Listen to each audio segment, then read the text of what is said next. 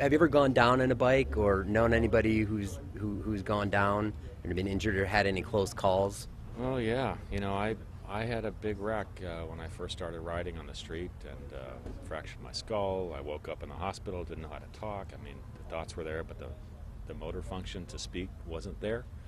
It was kind of scary and and all that. And you know, God God blessed me with another chance, and um, I learned that I learned a lot.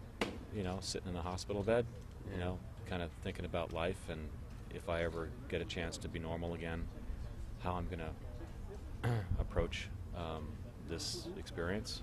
Uh, and, you know, it, it, it's a very equalizing um, and frightening e- experience when you get hurt really seriously on a bike.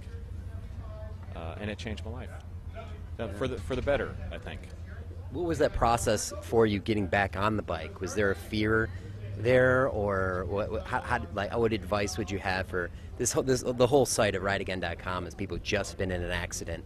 What, what what could you pass on to those guys about getting back on the bike? What was it like for you, and and, and, and all that?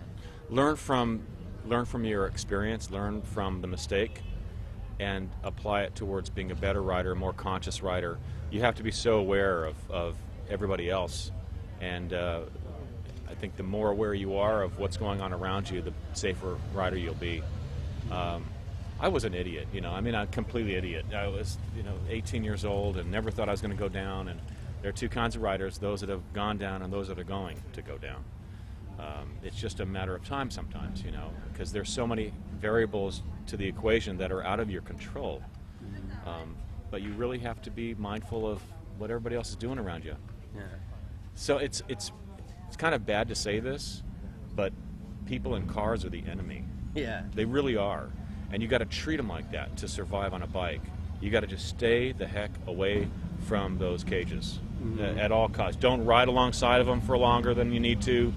Get away from them, pass them, get yourself in some open road, and and uh, you have to ride defensively. Hi, I'm Lorenzo Lamas, and please go to rideagain.com.